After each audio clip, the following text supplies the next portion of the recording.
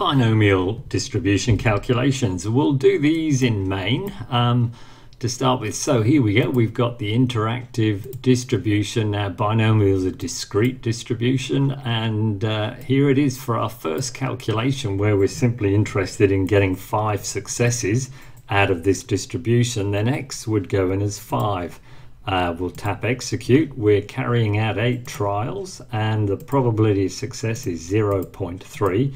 So when I tap execute or OK here, um, the count probability is just over um, 4% there. So not that likely it would seem. Um, the other possibility we've got is if it's a cumulative uh, distribution, say we wanted the probability of one, two or three successes. So then we'd use the interactive distribution discrete, but this time the cumulative. So we want between 1 and 3. So we enter the lower as 1, the upper is 3, the number of trials is 8, and the probability of success is 0.3. And when I tap OK, then there's the probability of getting between 1 and 3 successes on that one. We could also calculate this in statistics, um, and that's explained in another video.